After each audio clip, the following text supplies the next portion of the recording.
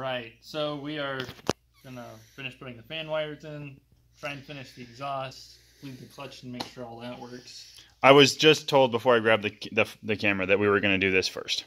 That was that was exactly what he said. We're going to do this first. Yeah, I want to do that because it's exciting and expensive. And I want to make sure it works.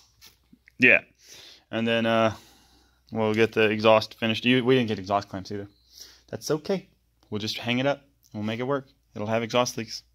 Won't be a problem. I definitely did before. But okay, so we're gonna do that. We're gonna get the clutch bled, um, and uh, go from there.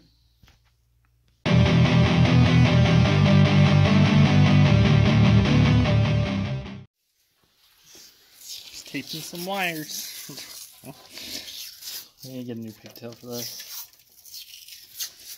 Yeah, you kind of messed it up. Oh, the bulb's like, like try and get that thing out, bro. I don't want to. But so we got the radiator. Get out of my way, box.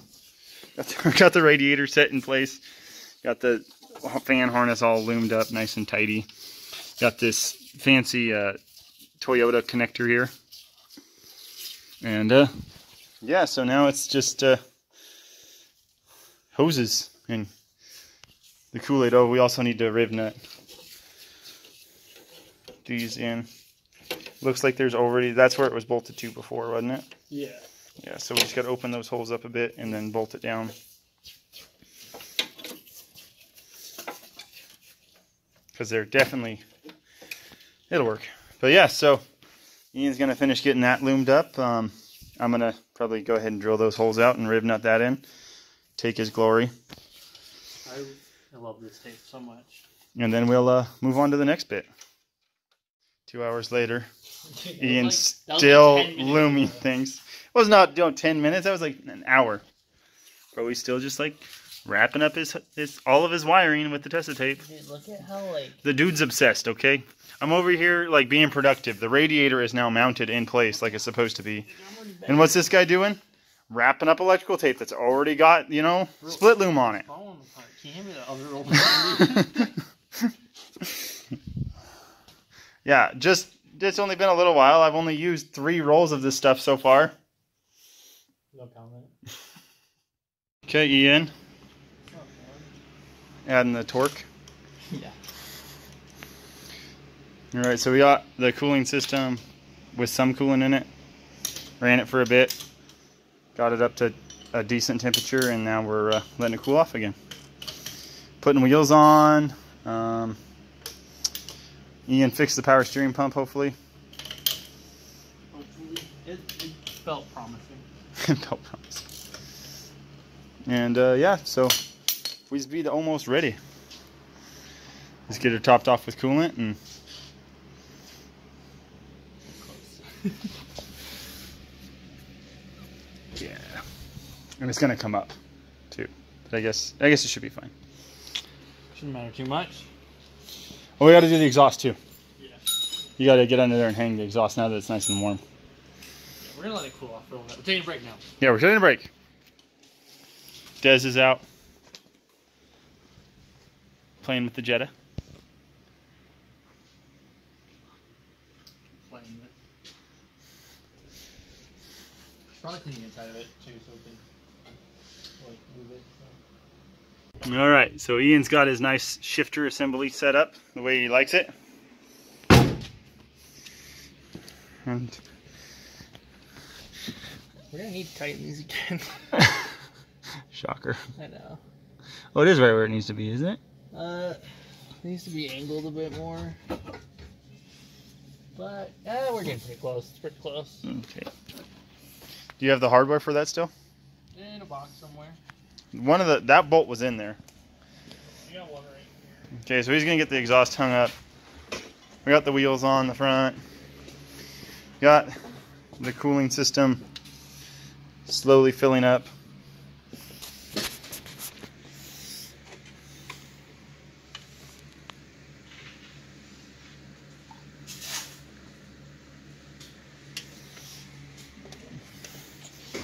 Little bit at a time. And uh, yep, we're almost there. He fixed the power steering pump. I'm Yeah, so it's basically just like exhaust and uh, get it off the jack stands. Meanwhile, Ms. Desiree's over here doing the real hard work. Yeah, standing. It's coming along. Yeah, looking good. This this one's almost done too. Yeah, Getting that good mileage. good, gas mileage. I think that thing gets like 47 miles to the gallon, Something like that. Yeah, that the 4Runner with the TDI in it gets 30 ish with a lot of stuff dragging. Hey, and what fuel mile? What kind of fuel mileage does this thing get? I don't know.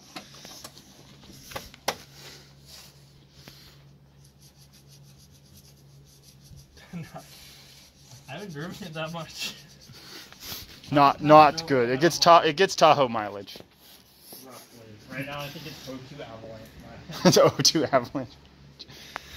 Okay, I'm gonna continue to not do anything while Ian struggles.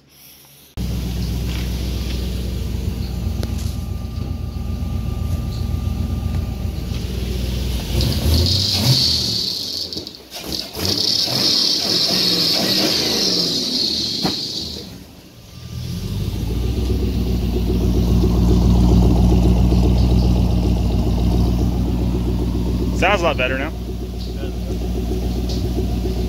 Yeah, I figured That the belt It's like chirping.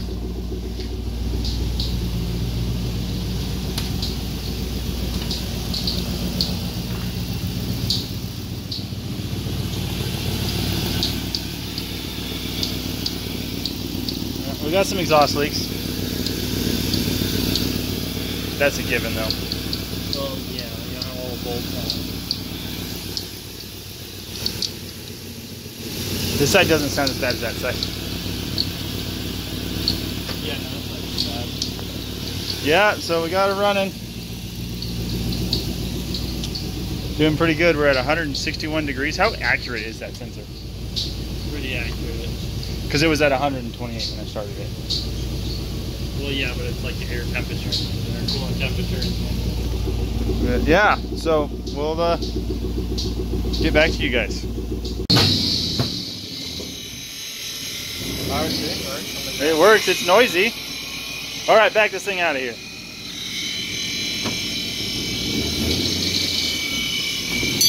Straight back.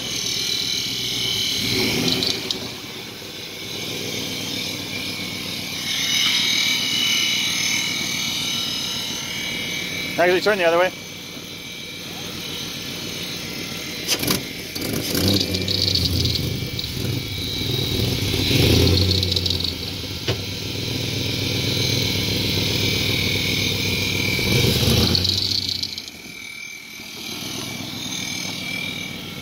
Keep going.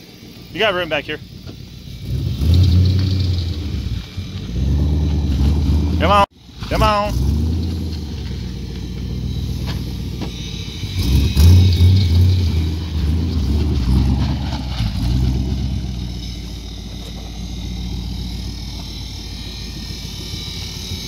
Power steering got heavy again.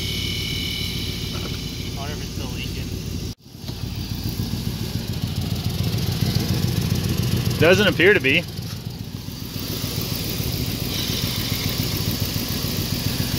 Oh, it's low.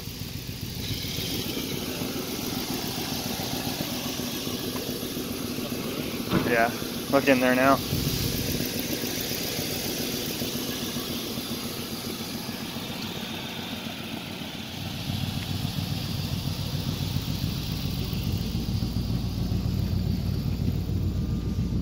Alright, bad news. One of our PTFE steering lines just burst.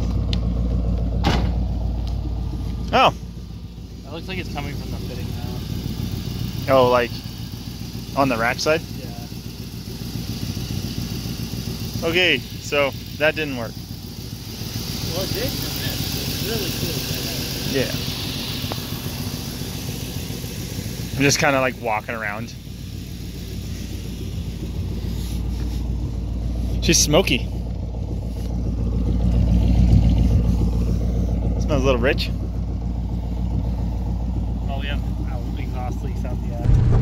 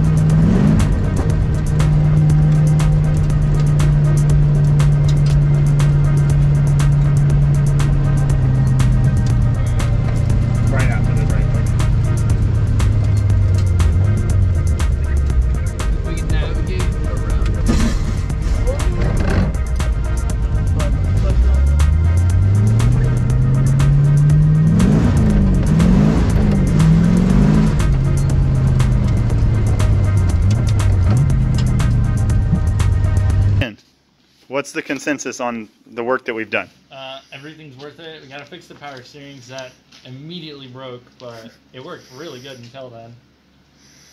Still smoking, but it looks. I'm I'm guessing that's uh, the power steering fluid. or just whatever else we dumped onto there. You know, nothing important. How's it going? It's still haunted. They didn't have a throttle response when I put reverse. Oh, it just wouldn't go. The, the throttle wasn't responding. Hmm. And now it won't start again. Yeah, so got it going. Uh, it seems to drive smoother. Doesn't shake nearly as bad. Um, Don't tell the YouTubes it was different car. I like those wheels on the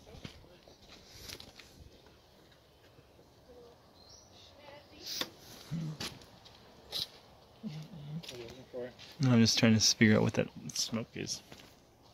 But yeah, so everything's good. It'll burn It works. It's got some minor things to fix up. Ian seems to be happy with it. I am thrilled. Especially with the wiring, so like clean everything is. Yeah. All right, so we figured out what happened with the Subaru. Um, somebody, one of the two of us here, didn't tighten the line, the fitting.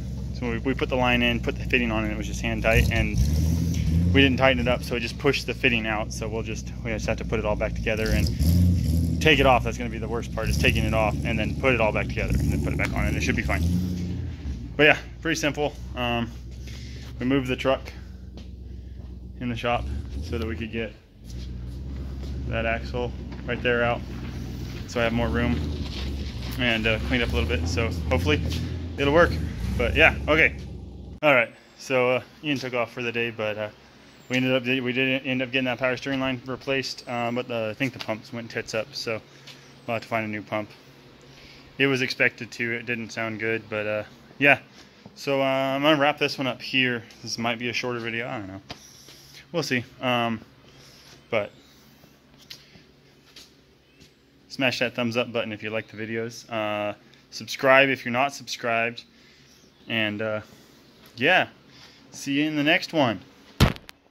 Okay, here we go. Ian's first time on good, good hard pavement.